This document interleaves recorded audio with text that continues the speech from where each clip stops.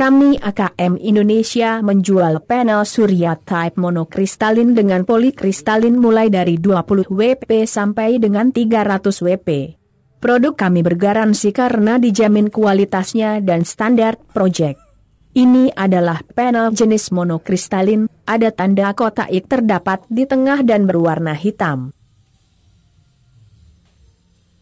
Dan ini panel jenis polikristalin, bedanya tidak ada tanda kotak terdapat di tengah dan berwarna biru.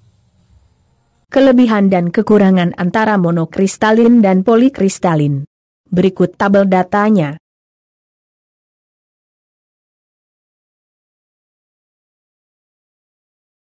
Open order hubungi AKM Indonesia pemenang tender pemerintah dan swasta. Terima kasih.